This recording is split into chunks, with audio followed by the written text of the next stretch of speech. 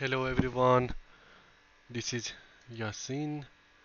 I'm going to share with you my latest trade on S&P 500. The date of trade was 28th of October today. And so let's begin. At the bottom of the picture, you can see my macro channel was in a uptrend channel here. You can see we were in this area. So our macro was uptrend.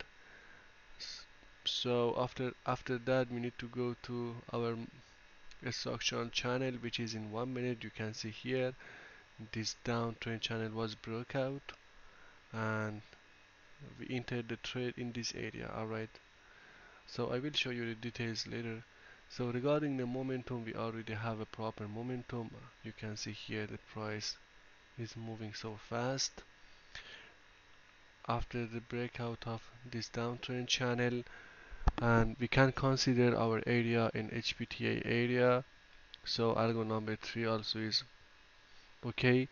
Uh, regarding algo number 4 and 5 we can go to our trading channel in 500 tick you can see here we had an uptrend channel in the same area here. The area was good.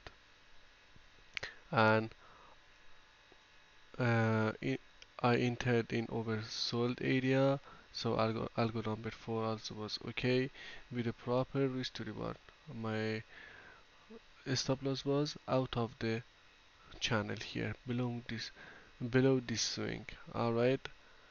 So my entry signal was shown after after the breakout of this small channel in 100 tick. You can see here this downtrend channel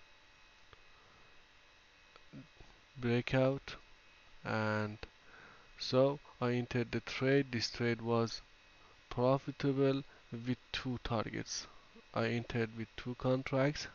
The first contract I exited here and the second I exited in this area. And this trade was very low risk trade as per the PAT system. Price action algo trading. Thank you for watching. See you in the next one